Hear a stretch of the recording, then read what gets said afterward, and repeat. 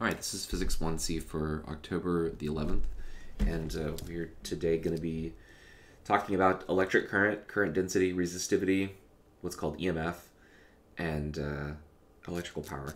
So, a lot of topics, but most most of these most of this stuff is very conceptual, and the like equations we're going to use are going to be really simple.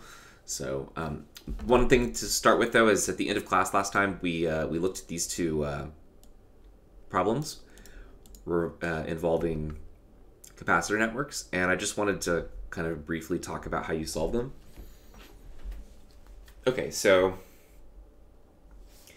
in the network that we have here, um, you can see what the values of the capacitors are. Like C2 right here, I'll put it on the picture, is 10, and C1 is 5. So this is like a 5, a 10, a 10. C2 is also 10, and then C1 is 5, and the one in the middle is C3, and it's 2. So if we break this capacitor network down, what we can do is we can notice that the two over here are in parallel. And when capacitors are in parallel, you can add them together. So this can break down to, here, let's go to the right so that it's, so there's more room to work. So let's go this way. Okay, so what we're gonna do is we're gonna break down these two and two of the ones in the top. Okay, with the writing being that thick, I think I need to zoom out just a little bit. Okay, so there's that, and there's one in here. There's this one. And all these connect up to this one. Okay, so the 10 and the 10, we're going to add those together to get 20. Is that right? When they're parallel, you add them? 5 and the 10 right here, are they in series or are they in parallel?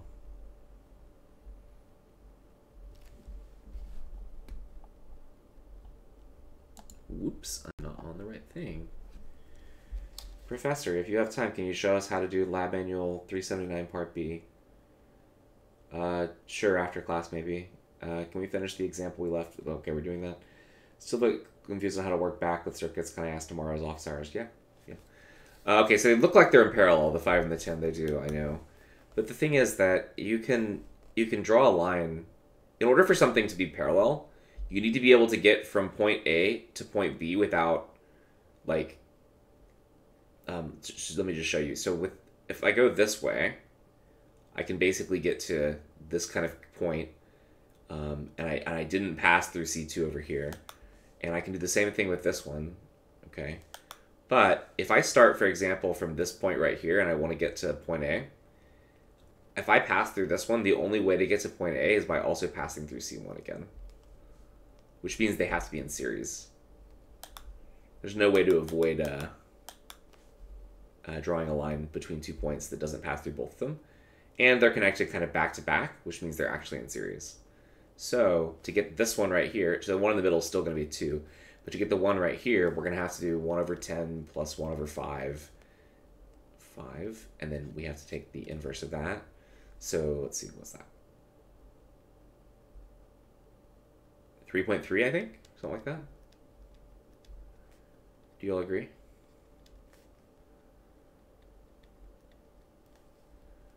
And this is 5 and 10 over here. What's up?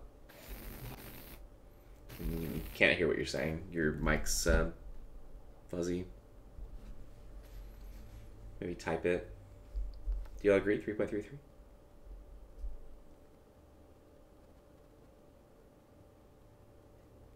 Okay. And, uh, right, because it's 2 over 10, so 3 over 10, 10 thirds, yep. This one will also be 3.33 then. And now these three are in parallel. This one, this one, and this one. Because again, just to show you how I do that, I say I can go from here all the way to here, only passing through just that one. I can do the same thing this way. I only pass through one. I can do the same thing this way, and I only pass through one. So I can get from this side of the network to this side of the network, you know, only passing through one of them, which means they are in parallel. And for parallel, then we can reduce them down. And we'll have just one here, and then, whoops, and then one here. So this is the 20. This is going to be um, 8.66, I think, or 8.67, however you want to say it. and then we can uh, do the reduction for these two. So this one's going to be 1 over 8.67 um, plus 1 over 20 to the negative 1. So that that's why I can't do that obviously.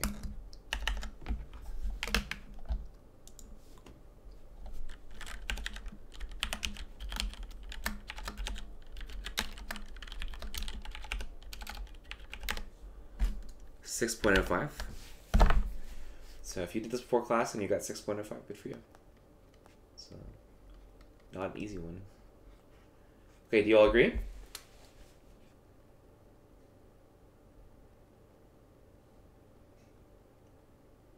Okay. So you want to do the other one too? They don't take that long. This one, um, both of these, the, the main trick is just in being able to figure out how things are actually um, connected. So here what I would do is I'd start with these two in the middle because they're pretty clearly in series, right? So what I'm going to do is I'm going to write this like this. It's going to go like this. And then for the middle one, what I'm going to do is I'm going to notice that this connection point could have been moved up to here. And this connection point, we're going to move down to here. Because it doesn't actually alter the circuit in the least.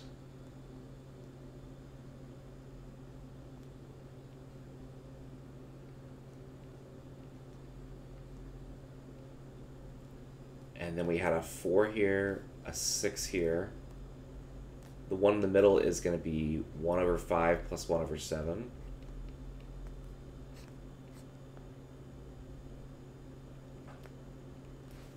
Dielectric. Oh, so you want me to talk about dielectric stuff today? Yeah, we can talk about that. Um, it's also, I mean, you can read about it in the textbook. It's a pretty short section. It's not very hard to follow. Johnny? You know what I mean? We're kind of having uh, this issue where because we don't actually get to meet twice a week due to the lab splitting thing, uh, I have to kind of cut some material. So if I have time at the end of class today, maybe I'll try to talk about that. But like I said, you can read about it in the textbook or anywhere else if you want to, honestly.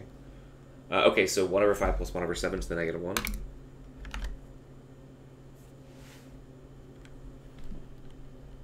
Yeah, but is what I said not an acceptable answer, Johnny?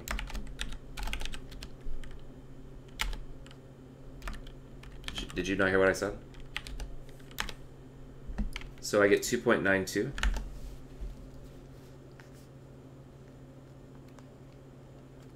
yeah, we just we just can't we can't hit on every single topic. So, um, okay, um, so this is uh, two point nine two, and then now they're all in parallel. So these should reduce down to, and again, this is one where like if you can't see that they're in parallel, um, say you're going from this point to this point, you can draw a line from here, go all the way to here, only hitting one.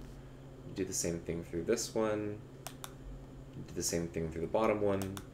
And the idea is that you don't have to, you don't like run into two when you do that. Even though there's a possibility where you can, you know, do stuff like that, you don't have to. So these reduce down to the 6 plus 4 is 10, 10 plus, this would be 12 point, uh, 12.92 microfarads, I think. Is that the right answer?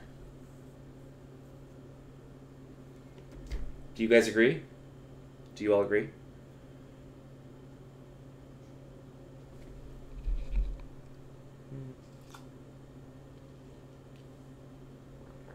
Okay. All right. So, uh, all right. That's capacitor stuff. Okay, so what we'd like to do now is to move on to talking about uh, charges in motion. And for those of you that have uh, already done the lab for this week, uh, some of the stuff I'm going to tell you is a little bit of review, but that's okay. We'll go into more detail. Make this a little bit more room here. This will be the first problem we're doing. Okay. So we're going to talk now about electric current.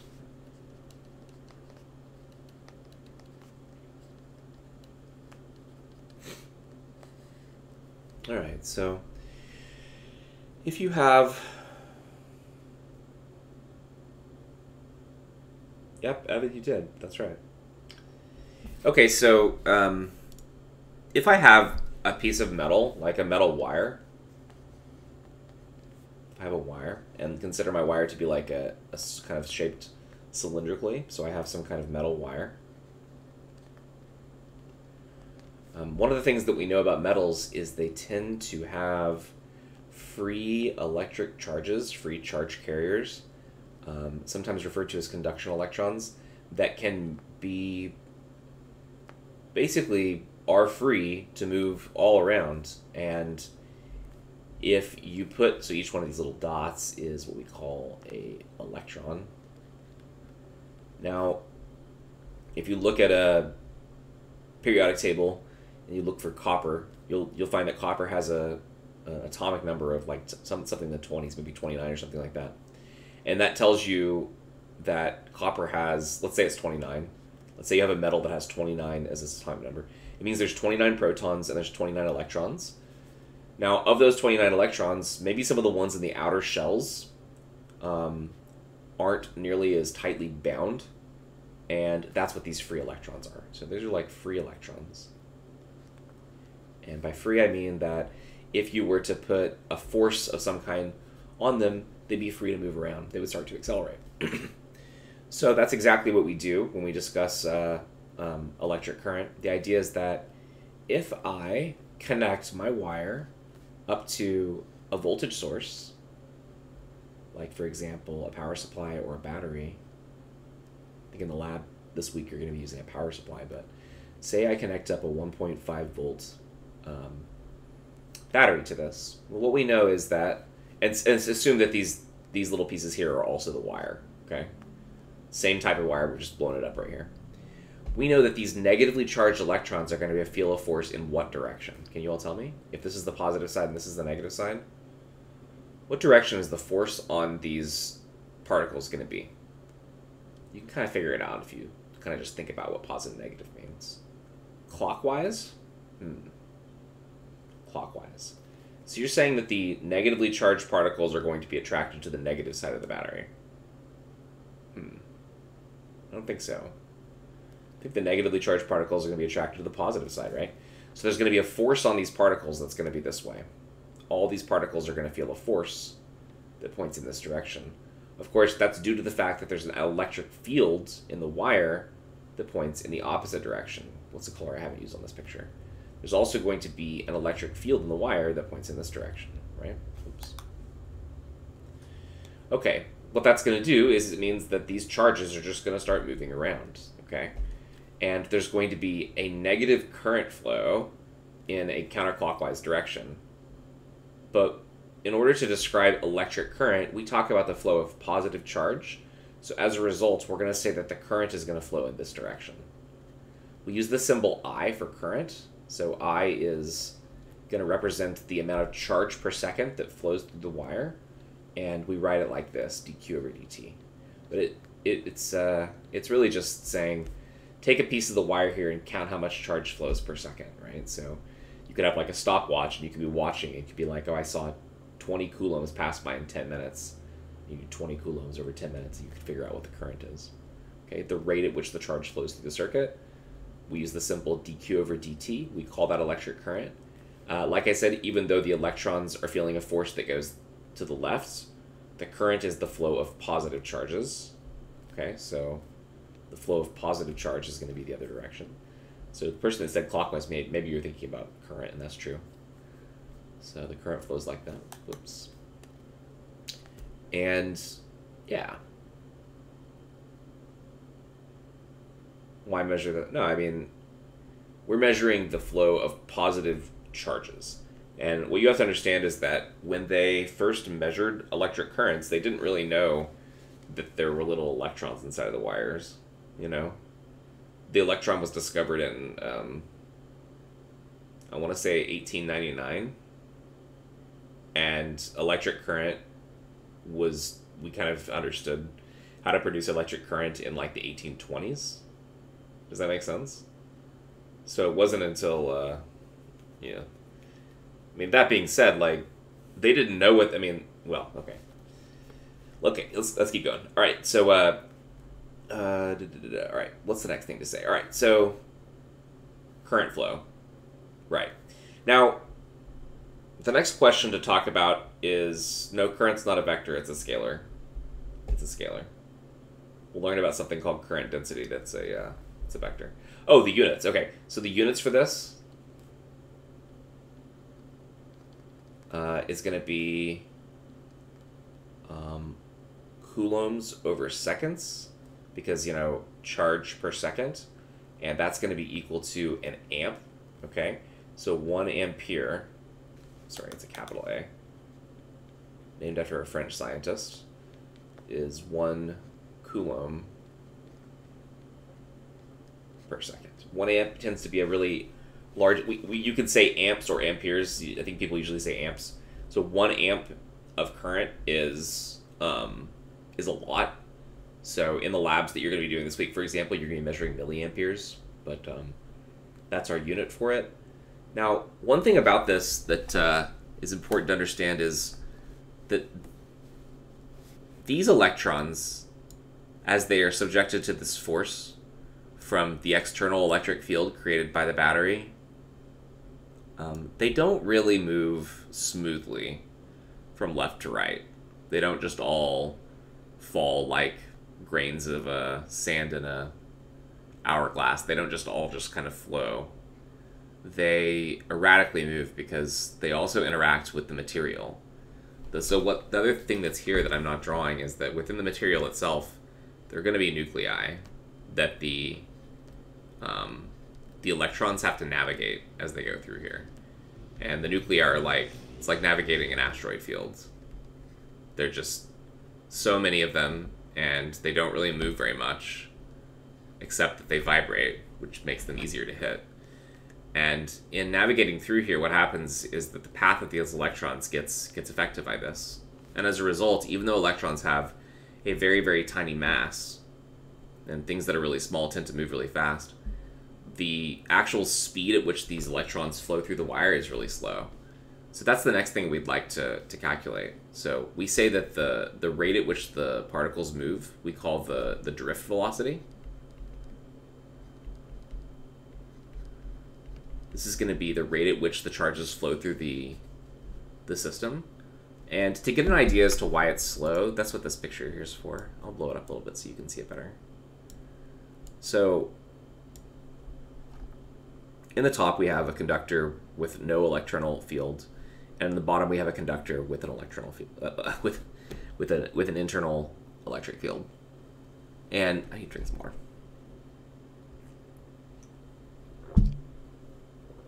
Okay, so in this picture, what's going on is that it's saying that the blue line here, where the is a path of an electron, and it goes this way, and then down here, and then up here, and then down here, and then back here, and then back here.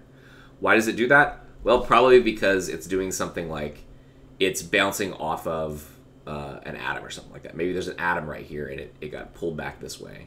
And then maybe up here there's an atom here and it kind of got pulled back this way. Maybe there's an atom here and it kind of going around and it gets pulled back. See, see what I'm saying? So there's, there's pieces of the material in there that it's interacting with that's causing it to bounce around like that, okay? Its motion is erratic. Okay, it's it's probabilistic. Okay, we can't predict that it was going to do that, but we can say that that's kind of what its what its motion is going to look like. It's going to be zipping and jiggling all around inside of the wire.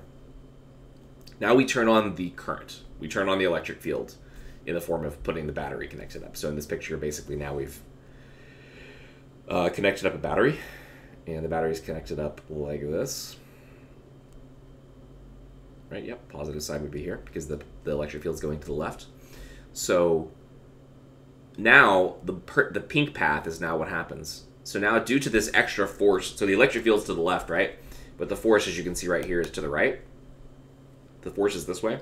So due to this extra force, what happens is that if we follow the pink path, the path of the electron is very similar, but you'll notice that there's this slight distance that it is moved to the right here, and then it goes up to here, and again, the distance has grown compared to the other path and then you get back to here, and eventually you see that this is the total distance that the electron has moved relative to where it would have been if there was no internal electric field. And so that's going to represent the drift velocity multiplied by however long it took for the particle to get here. Okay, does this make sense?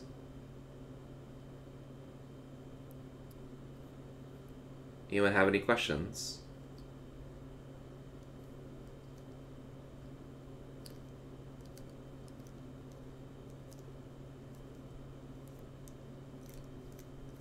So that's the next thing we'd like to do is to actually figure out what this is.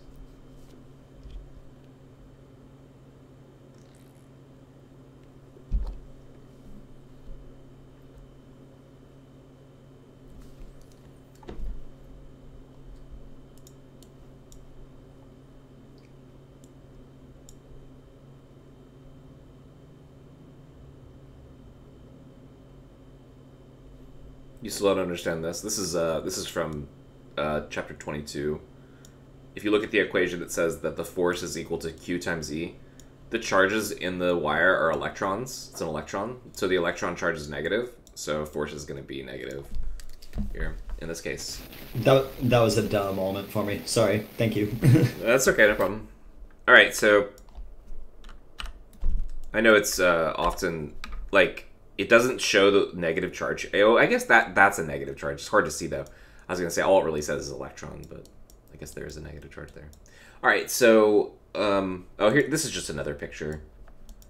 The same current is produced by positive charges moving in the electric field, or the same number of negative charges moving the same speed in the opposite direction. So whether you have positive charges moving to the right or negative charges moving to the left, you still get the same amount of current.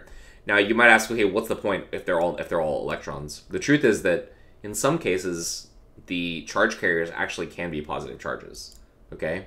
Now, we're in all the cases that we talk about in this class, we're always going to be assuming that we have negative charges, but it is you will see like in, as you go on into uh, you know upper level classes that the, the charge carriers can be positive charges, as in the case of semiconductors. Okay, so let's talk about how we find the drift velocity. So that's what this picture here is for. So in this picture, what we have is just, let me go down just a little bit more. Um, a current I flowing through a, a wire, and we've blown up a piece of the wire right here. And what's been drawn on here is a cross-sectional area. So this has been labeled off right here as a cross-sectional area. And what we're going to do is we're going to say in an amount of time that we call dt, um, we're going to, let me maximize this so you can see it better in an amount of time dt, we're going to try to figure out the amount of charge that actually flows through that cross-sectional area, okay? So we're going to say dq is going to represent the amount of charge that flows across A.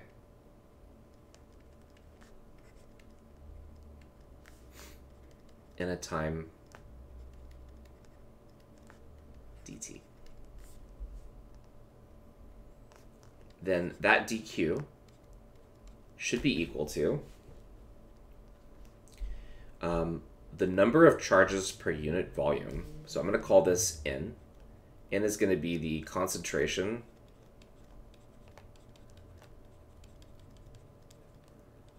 of charges.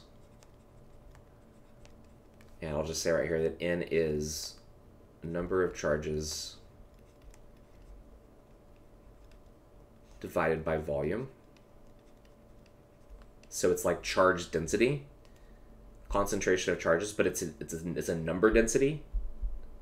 So number of charges per unit volume. So the units are going to be meters inverse. So if I if I have that quantity, if I know the number of charges per unit volume, and I multiply by volume, right? That should give me the amount of charge that's contained in there, right? Makes sense, right? Number of charges per unit volume, multiply by volume, but then I have to multiply by one other thing, which would be what? If I want to get the amount of charge, n times v is going to give me the number of charges. What do I then need to multiply by to get the to get the amount of charge, or to get the yeah amount of charge? I need to do this times this times one other thing. What would it be?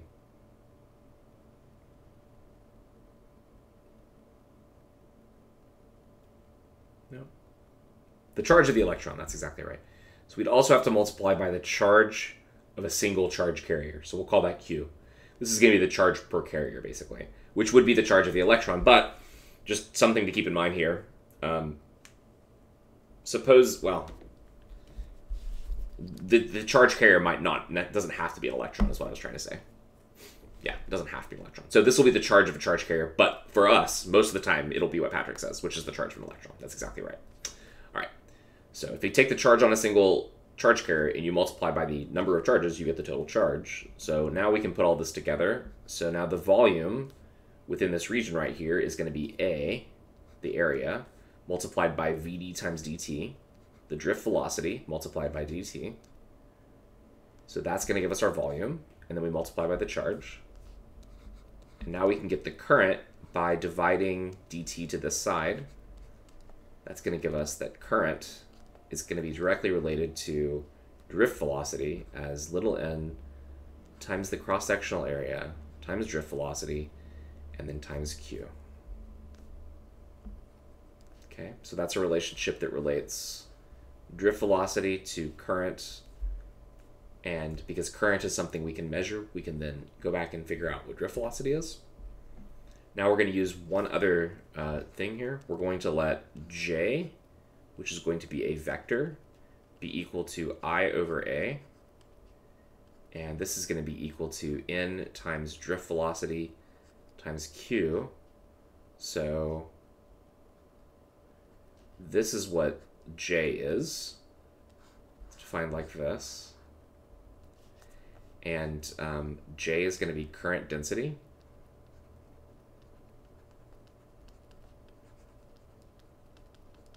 And J is a vector.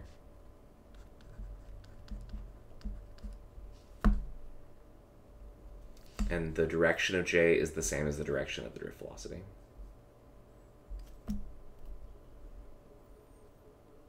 Okay, we'll do a problem to kind of show how these things work, but does anyone have any questions here?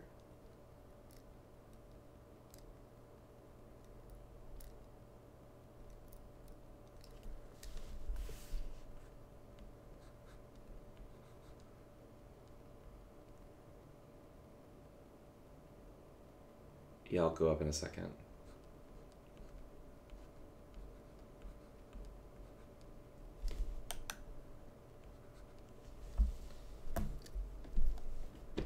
Um, here? Why don't I just zoom out? Is that better?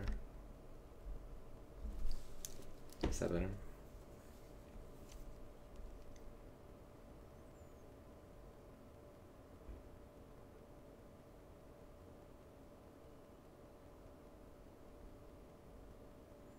Okay, so this is all just uh, kind of our theory, and then we'll just look at some applications. But I wanted to look at this equation real quick here. So notice what this equation says. It says that VD, which is drift velocity, so this is VD, drift velocity, uh, is equal to the current divided by the number of charges per unit volume times the area and Q all in the denominator down here. What this says is that if I increase the current, the drift velocity goes up. That should make sense, right? If if the rate at which the charges are flowing per second goes up, then the velocity of the charges has to go up too. That's the only way that the rate's going to go up, right? So that makes sense. It's directly proportional to current. The area shows up there in the denominator, which says that if the area of the wire goes down, the drift velocity does what? So if the wire gets skinnier, what happens to the drift velocity? Assuming everything else stays the same. It's going to increase, that's right. Does that seem reasonable? If you think about what happens to a river when the river goes from being wide to getting really skinny, the speed goes up, right? And the water gets like white. That's where you get like white water and rapids and stuff like that. If you uh, if you have a hose and you put a nozzle on the end of the hose that's shaped kind of like a point, then the water will flow faster out of the nozzle, right? So if the area goes down, the water goes, the water speed goes up. So this works exactly the same way as that does. Uh, it also seems to be the case that uh, the other things, one, one other thing I would mention, by the way, is that when the area of the wire gets smaller, usually the current is probably going to uh,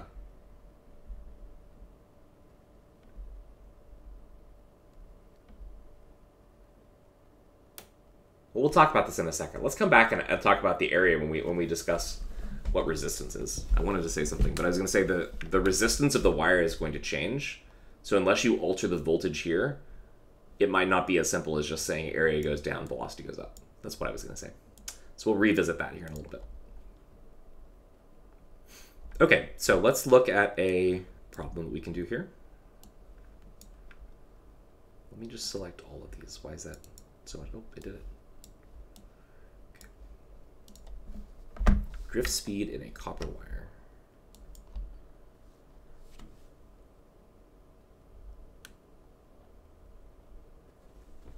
Uh, yeah, let's talk about the units of drift velocity. Sure, no problem. So the units up here, if we look at them, it would be in the numerator. That's going to be amperes. Uh, an ampere is a coulomb per second. And then in in is in number of charges per unit volume. So it's going to be meters to the negative 3, like 1 over meter cubed and then um, area is measured as meters squared, and Q is coulombs. So, yeah, you get meters per second. I'll let you. I'll let you do that, but you get meters per second. Mm-hmm. Well, that's right here. So, no problem. Good question. All right, so drift speed in a copper wire. I might just have you all do this problem because I bet you can figure this out. Let's get it set up though. So a 12 gauge copper wire. Have you all heard that before? Wire being referred to as like 10 gauge, 12 gauge, 8 gauge. Have you all heard that expression before? If you have or haven't, either way, it's a way of talking about how thick it is. It's a it's not a like scientific definition, but 12 gauge wire does have a very specific cross sectional area. Um, and then you know what I mean. It just it just means how thick it is. Um, I'll show you when we are in class again different types of wire and uh, what different gauge means but a 12 gauge refers to the size of the cross sectional area. Anyway, so here it says a 12 gauge copper wire, okay, it's copper, we're going to need to know that, in a typical residential building has a cross sectional area, we'll write this down, A equal to 3.31 times 10 to the minus 6 meters squared. It carries a constant current of 10 amps, so that's our new, new thing that we just learned about. So 10.0 ampere, which is just capital A. Again, that's a situation where the unit is the same as one of the variables in the problem. What is the drift speed of the copper electrons in the wire? So VD is going to be what we're looking for. Uh, we're going to assume that each copper atom contributes one free electron to the current. That's going to tell us something about the uh, charge density. And the density of copper is 8.92 grams per centimeter cubed. So we're going to use density is equal to, I'm going to go ahead and convert it for us. That's going to be 8920 kilogram per meter cubed you can prove it for yourself, but grams per centimeter cubed to kilogram per meter cubed, you just multiply by a thousand. Um, okay, so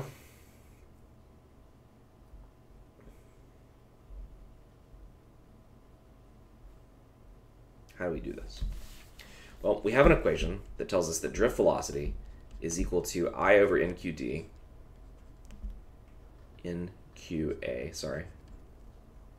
Let's scroll back up and make sure that's right. Kind of looks like an R, so I'll erase that. And there we go. So what do we have? We have I and we have A, and we have Q. We know that Q is going to be the charge on a single electron because it tells us that it's each atom contributes one free electron. So we know that the electrons are the charge carriers. So Q is going to be that. We're not going to worry about the negative sign because we're just looking for the absolute value of the velocity what we're missing is little n. So the real the real kind of problem in this case is to is to calculate what this is equal to. How do you all think we can do it? And I'll remind you that um, n is number of um, what did I say it was? Charges per unit volume.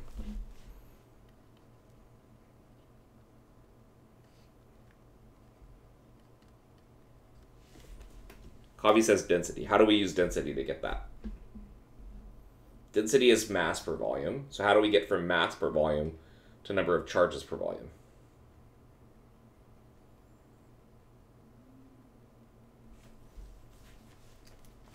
we could write down density right here.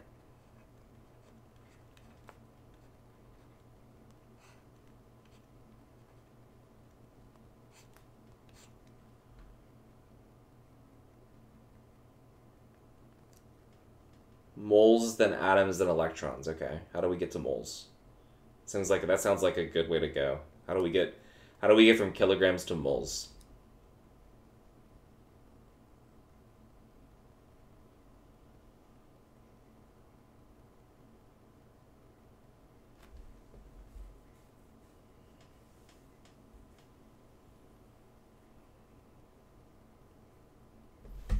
Something like sixty-five. Can we get an exact number? I think that's that's that's right. I think some something like sixty-five point something, right?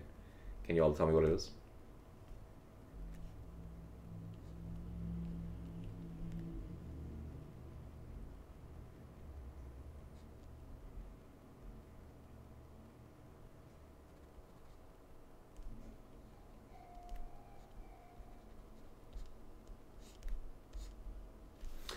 So for those of you that don't know how to find this, because I imagine if you haven't taken, um, if you haven't taken,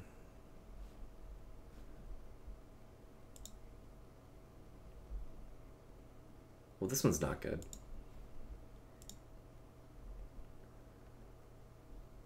Okay, I don't, you can get a periodic table shower curtain, okay. I actually need a new shower curtain. Okay, 63.5 Okay. Yeah, I just want to show you where you can find it. I'm not shopping for overseas. I just want to click on your periodic table. Uh, maybe I need to just... Uh, all I want to do is show you where this is located. Underneath... Okay, you can't see it on this one either. But underneath copper... Where's copper? It's like 29, right? There it is.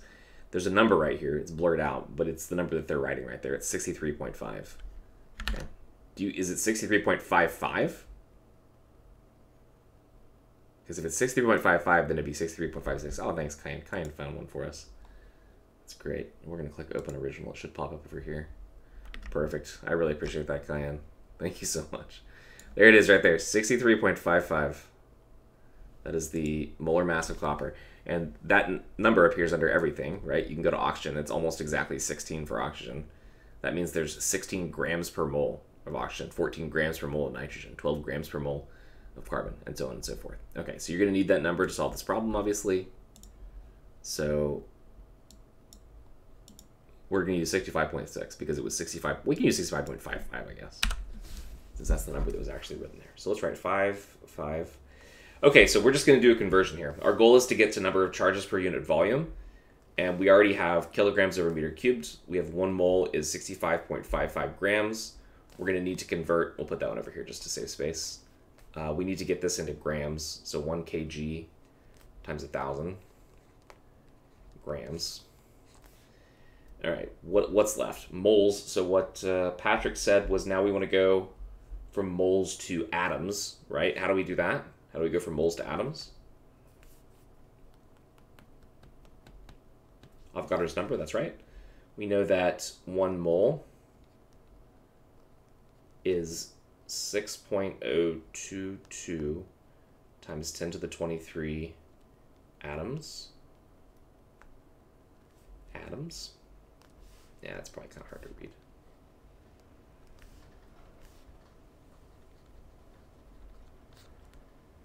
Okay. So now we are at, start canceling things out. All we have left over now is atoms per meter cubed. And finally, what's the final what's the final one that we need to put in here?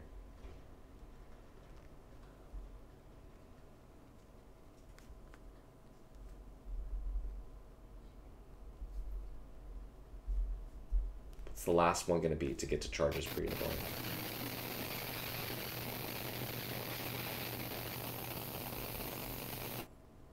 Yeah, Patrick, you might I don't know what's going on. Maybe you might want to plug your mic, unplug your mic and plug it back in because it's it's really uh. Now we're just looking for we're just looking for number of charges. That's right, Josh got it. There's one electron per atom. That's the thing that's underlined up here. Each copper atom contributes one free electron. That's right. Good job, Josh. That's pretty hard to get. So it's, yeah, there we go. And that should give us the number of charges per unit volume, the number of electrons per unit volume. Okay, so this is going to give us E minuses per meter cubed. That's what the answer is going to be in. So you all tell me, uh, okay. Uh, go to here and then go to here. We're doing, let me just do like that, go like this, this. Okay, and then let's type this one in. So we've got a thousand times 8920 divided by 65.55 times 6.022 times 10 to the 23rd times 1 divided by 1. I don't think we had to put the last part in. 8.2 times 10 to the 28 is what we get. 8.2 times 10 to the 28. Oh yeah, we should probably use the correct value here, right? This was supposed to be a 3. Sorry, sorry. Good point. All right, let's fix that. So this should have been a 3. We'll still get pretty much the same answer. 8.45 times 10 to the 28. Thank you very much.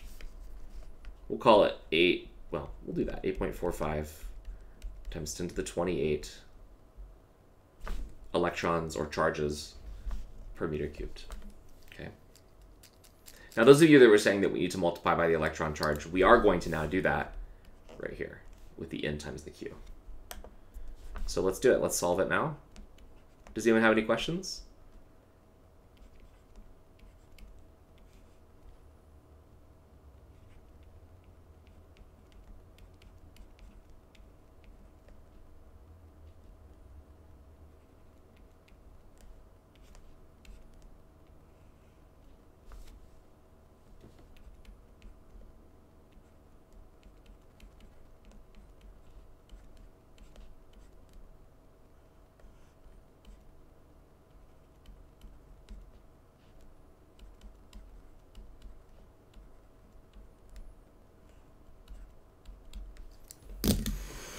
Okay, putting that all together, we get that expression there. So this is going to be 10 divided by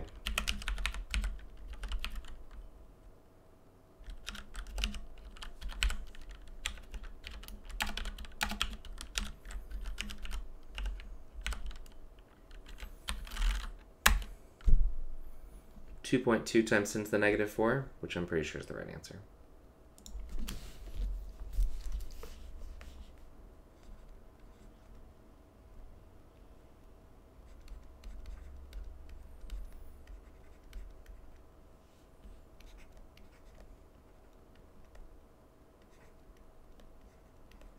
We convert that to millimeters, it would be 0.22 millimeters per second, which means that it would take a full five seconds for the electrons to move one millimeter. One millimeter, that is a very, very tiny distance. It takes five seconds for the, the electrons to move even one millimeter. That is that is a very, very small speed. So nonetheless, that's what we get for drift velocity. And it's kind of indicative of what we said earlier is that these electrons they're colliding so much with the matter that they don't really move very much, but they are moving very slowly. And that slow march of the electrons through the wires is what provides the energy we need to light up our devices, you know, to turn on our cell phones and our computers and our light bulbs and yeah.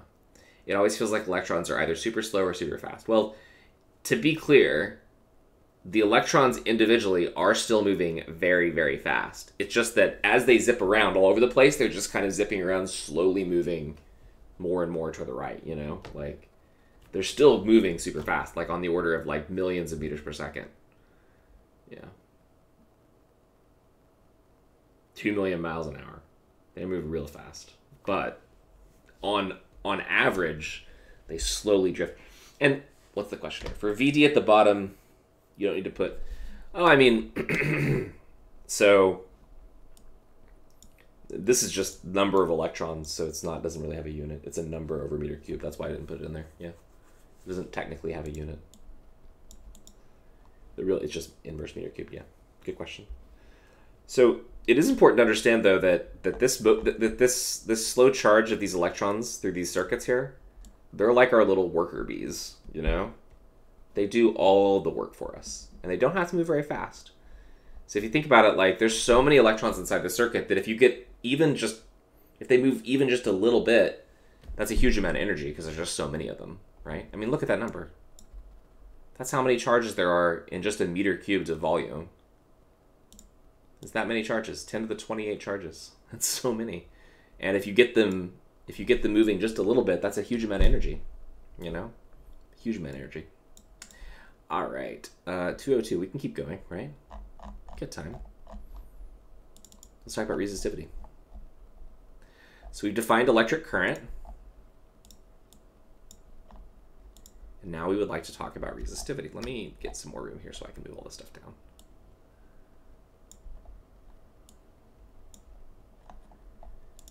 Okay.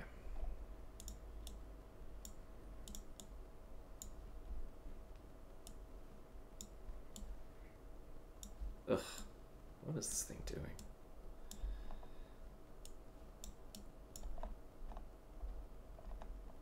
That should be enough room.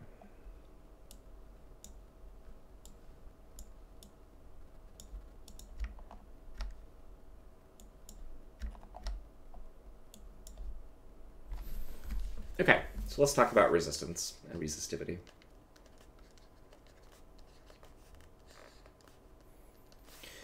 So whenever we connect uh, wire up to uh, a battery, as we said before, if you take like a battery like this and we connect it up to some piece of wire, for example, um, it turns out that uh, different types of materials allow the current to flow uh, at different rates. So for a given type of material, there's going to be a current that you can measure. We measure current using something called an ammeter that you're going to see in the lab that you do this week if you haven't already seen it. And um, we measure voltage with voltmeters. But if I tell you that the potential difference on this battery is delta V and I tell you the current is I, then for given, for given different types of materials, whether it be silver, copper, gold that the wire is made out of, the amount of current flow that you get is going to depend on the type of material, okay? So the current depends on the material of the wire. And you can figure out how it depends on that. Um, or more specifically, how the electric field depends on it um, in the following way. So first of all, here's a table that shows you different resistivities, rho, okay, symbolized by rho and resistivity is defined in the following way. You take the size of the magnetic, uh, the magnitude of the electric field that's set up in the material, and you divide by the magnitude of the current density caused by the electric field. Okay? And that gives you this quantity that we call resistivity. So the bigger the electric field that's produced, uh, you know, per current density, the larger this value is going to be. And you can see what the different values are right here. They range from about 1.47 up to about 100 and all these are multiplied by 10 to the negative 8, and they're measured in ohms times meters. Ohms is going to be our measurement of resistance. Resistance is defined over here. And I can show you how to get this. Um, and we might as well, I guess, uh, go through that derivation just so we can understand what the connection between these two equations is. So, um, regardless, we've got all these quantities right here. These are all um, conductors and they have these kind of types of resistivities, okay? Over here we have insulators, and they have orders of magnitude larger resistivities. Um, things like amber glass, mica, quartz, all these things have resistivity on the order of 10 to the 14, so a huge number.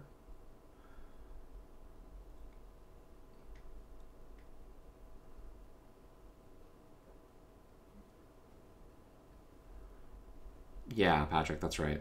They all they all feel the electric field at the same time, so they all start moving immediately, and that's why the light from a light comes on quickly when you flip the switch. That's right. Um, okay, so insulators high resistivity, uh, metals have low resistivity. That means they have a low resistance to the flow of electricity. And this this uh, relationship down here, that resistivity is equal to electric field divided by J, this is often referred to as Ohm's law by the textbook but we're going to use something else for Ohm's law. Anyway, Um, let's show how we get from this equation to Ohm's law as we are going to use it. So suppose that I tell you that I have a piece of wire, and that wire has a cross-sectional area A, a length L, and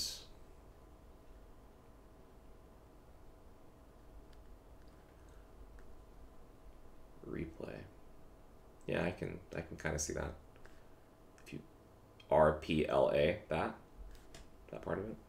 Yeah, I guess I can see that. Um, okay, so LA, uh, and suppose that we have current flowing through here. So I've got current flowing through here, and the whole thing has a potential difference that we call delta V, like this. Um, and because of that, we know that the um, electric field inside of the wire is also pointing in this direction. So we have an electric field E. All right, so let's put this all together.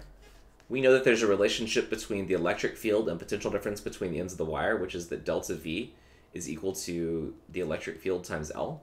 There's technically a negative sign here, but let's not worry about that for now. Um, we also know that the current density J is defined as we take the current and we divide by area. Okay, so let's put these two equations together. So this says that rho is equal to E over J. So if I write rho is equal to E divided by J, this is going to be the same thing as E is equal to delta V divided by L. And J is I over A. Okay, so let's manipulate this in the following way. We're going to multiply the L over here, so we're going to have rho times L. And then there's a 1 over A over here that we can multiply to the other side as well that'll show up in the denominator like this. And this should then be equal to delta V divided by I. Normally we write this by moving the i to the left-hand side so that we write it as delta v is equal to uh, i times rho L over A. And I put this in parentheses because this is then defined as resistance, R. And this is normally what most like kind of textbooks call Ohm's law. This one or this one, but realistically this one. This is the equation you're going to be using in uh, the lab this week. Voltage is equal to current times resistance. Super easy equation. Definitely worth memorizing because you're going to use it a lot in this class. Okay? Anyone have any questions?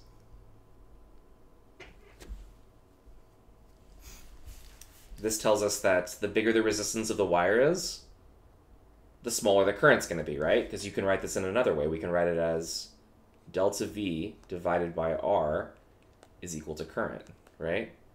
Just as an example, suppose you have a, a, a battery that has 1.5 volts and you place it uh, into a system that has a resistance of 1000 ohms, resistance is measured in ohms, then 1.5 over 1000, you would get about 1.5 milliamps out of this, right?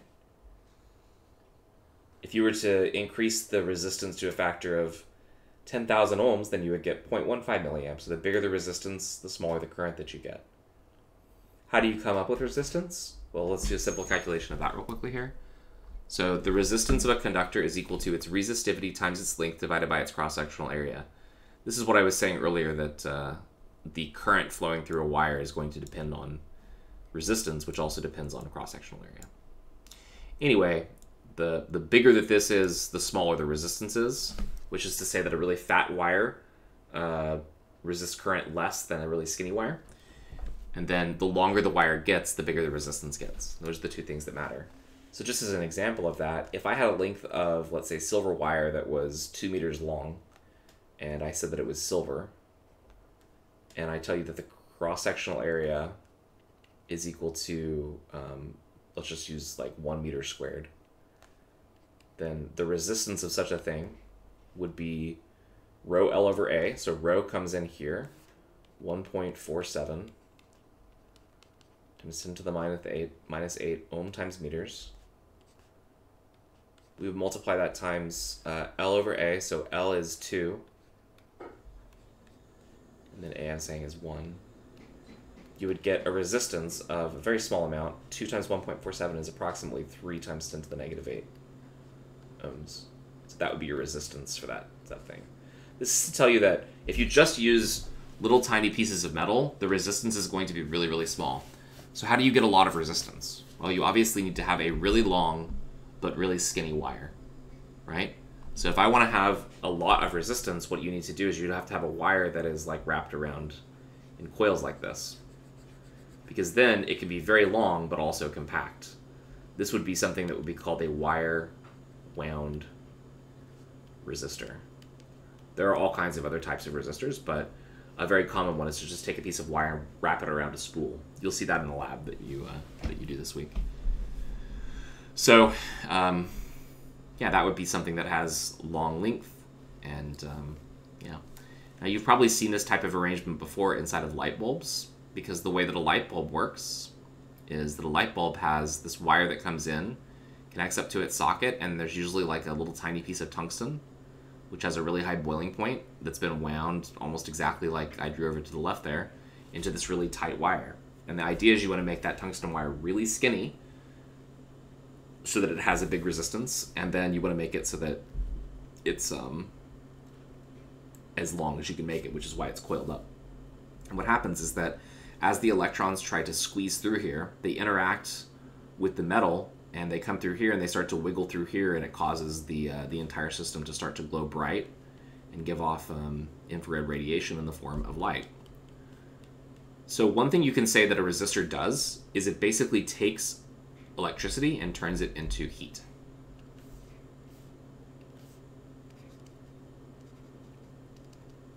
So a resistor, which is basically something like this, um, transforms electricity into heat.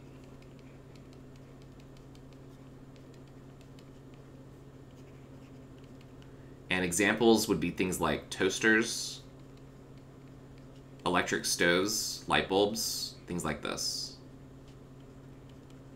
So what's an electric stove? An electric stove is basically just a coil that a coil of very high resistance material. I think it's often made of carbon carbon, maybe more like iron, composite iron or something. I don't really know. But an electric stove, right, is basically just a piece of metal that comes, you know, up and then it just kind of like wraps around in a circle, right? This is like what an electric stove looks like. And all that happens is you pass electric current through that thing and it heats up. It just gets hot.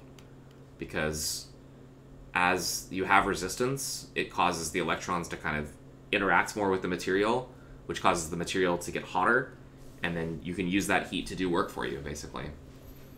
This is one of the great things about electricity is it can easily be transformed from electrical energy into another type of energy. In this case, into heat. Okay.